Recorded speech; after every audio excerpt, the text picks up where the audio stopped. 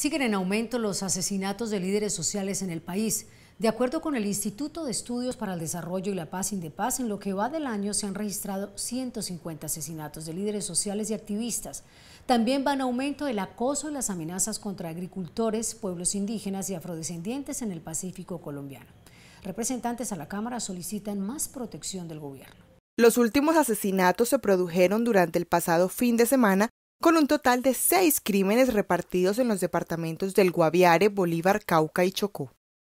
En Colombia, en lo transcurrido de 2020, según cifras de Indepaz, van asesinados 150 líderes y lideresas sociales en el país, de los cuales 48 corresponden a comunidades indígenas.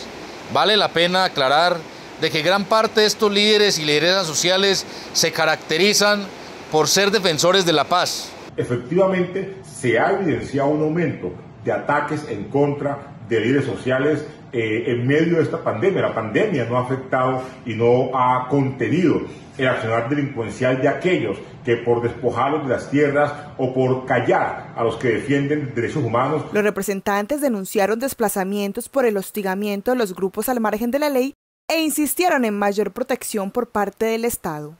Es fundamental que hoy las autoridades eh, concentren sus esfuerzos en seguir dando protección a nuestros líderes sociales. Sabemos que la pandemia eh, implica retos de control en las ciudades, implica retos eh, de poder vigilar que la gente cumpla el aislamiento, pero ello no puede ser óbice para incumplir el deber de garantizar la vida a nuestros líderes.